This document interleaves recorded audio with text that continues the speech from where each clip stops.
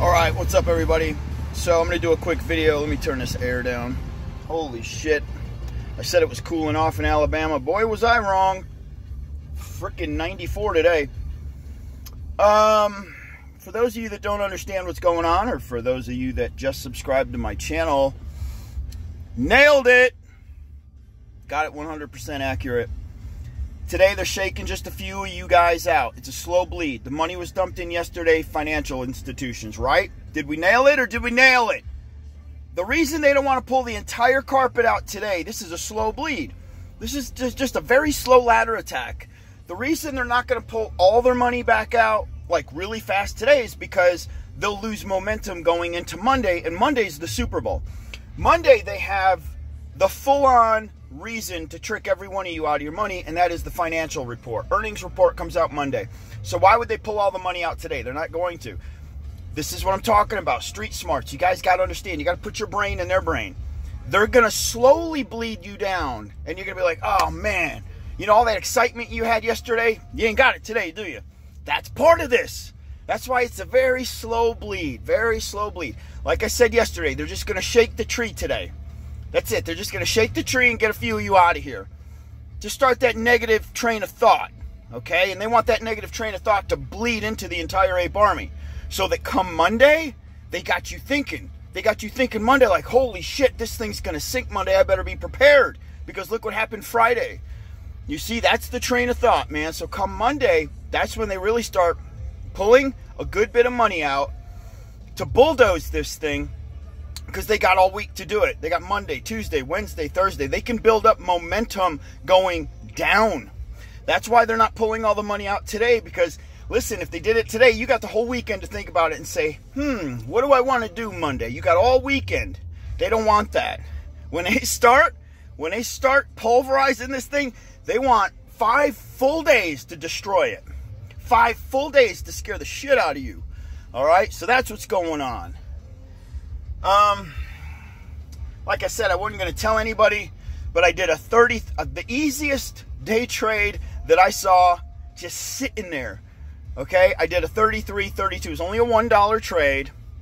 I set the sell at 33 and I put the buyback at 32 and I just set my phone down and I didn't even know if it was going to fill or not fill because I'm at my restaurant today busting my ass.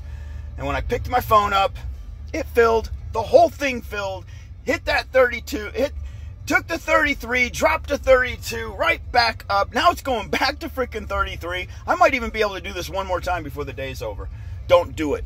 All right? Don't do this shit cuz man, you guys it's very risky. Very risky with everything else that's going on right now. So I'm not saying that this is advice. So I'm just telling you what I did. Anyway, the SEC wants to shut guys like me and Trey and everybody else down. And um, for some of you guys are be, being like, why are you throwing Trey under the bus? Um, it must have something to do with the Robinhood statement I said. Guys, I don't even, I love Trey. Me and Trey are good, man. We, we don't ever have bad words amongst us. But apparently he must have done a video about Robinhood. And I dissed Robinhood, and y'all thought I was dissing Trey, or some of you morons thought I was dissing. Not my good peeps, man. Some of you new folks coming around here like, why are you dissing Trey? Freaking love Trey, man. Not dissing Trey. But I don't watch. Now, if I watch somebody else's videos, it screws with my train of thought. That's why I can't watch anybody else's videos on YouTube. Because everybody else has their own theories and then I have mine and my shit seems to be coming true. So I don't watch anybody else's. You know, all this technical analysis. It's like I say, guys, technical analysis is the book smarts behind it, but you better have some street smarts to understand why the money is fluctuating the way the way it's fluctuating. Why did all the money go in tomorrow? Where's it going to be Monday? You got to have street smarts to understand this shit. I watched I watched the charts today. That's how I knew. Look, if you were watching charts today, you knew to sell at 33 and buy back in at 32. It was a guarantee. That's where book smarts come into play. Okay, that's how I nailed today's trade. I'm back in, bada boom, bada bing. It was easy. It was easy. But the street smarts tell me now, they kick in and they're like, don't get too greedy because this thing is about to fall apart and then blow up. So you don't want to be stuck in the middle of this thing falling apart and blowing up. So when she cooled off and she slowed down a little bit, that was it. I made my buck. You know what I'm saying? I got my buck trade and I'm happy. I'm done. Okay, like I said, if I see one more, but market's about to close, so I'm probably not going to get another one in today. And then I let this thing ride out Monday, and I just sit back and I watch all the shit go down. I'm going to watch all the shit go down Monday. I'm going to watch the report come in. I'm going to watch everybody respond. I'm going to watch shit. I'm going to watch people chase. I'm going to watch it sell off. I'm going to watch Citadel pull money out. You guys knew there's an, you guys know there's new financial institutions that are also shorting this stock now, so it's getting bulldozed in every direction. Monday, I don't want no part of it. Monday, I'm chilling. I ain't doing a damn thing with this stock come Monday other than sitting back and learning. I'm going to learn some shit off of this come Monday. Taking notes Monday is what I'm doing. All right? So anyhow, that's it for the weekend. And uh, I don't know if I'm going to be doing any more AMC uh, videos because there's really nothing else to talk about. Um, other than if it closes in some really erratic manner, then I might do one more video. But I don't see that happening.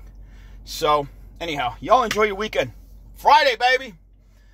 94 degrees in Alabama. And I got to work. I'm working my freaking restaurant this weekend. It's all good though. We got to make that money.